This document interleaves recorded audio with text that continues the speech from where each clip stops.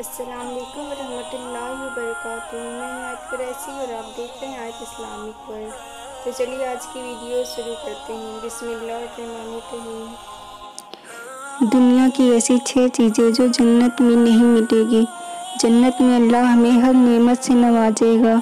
जो चाहेंगे, जिस चीज़ की ख्वाहिश करेंगे, सब मिलेगा। लेकिन दुनिया की वह छः चीज़ें जो हमें नहीं मिलेगी, जिस पर दुनियावी ज़िंदगियाँ टिकी हुई हैं तो चलिए देखते हैं वह छह चीज़ें क्या हैं। तो पहली चीज़ है मौत। दुनिया में हर नफ्स को मौत का जायका चखना है, जो कि जन्नत में किसी भी इंसान को नहीं आएगी। वहाँ की ज़िंदगी हमेशा हमेशा की ज़िंदगी होगी। आप मोहम्मद सल्लल्लाहु अलैहि वसल्लम की हदीस है कि जन्नत में मौत नहीं आएगी। और दूसरी चीज़ है हसद। जन्नत में किसी भी इंसान को एक दूसरे से हसद और जलन नहीं होगी।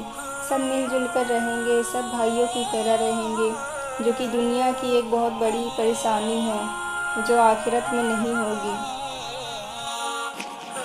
और तीसरी चीज़ है नींद।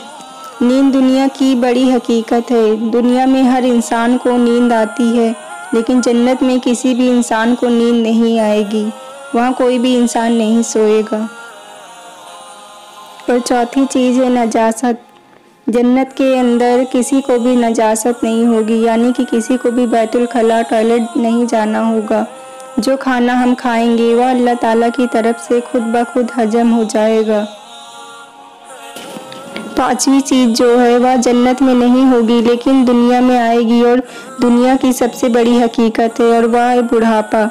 दुनिया में जैसे जैसे हमारी उम्र बढ़ती है वैसे वैसे हमारी हड्डी कमज़ोर होती है, हमारा शरीर कमज़ोर होता है और हम बूढ़े हो जाते हैं, लेकिन जन्नत में बुढ़ापा नहीं होगा।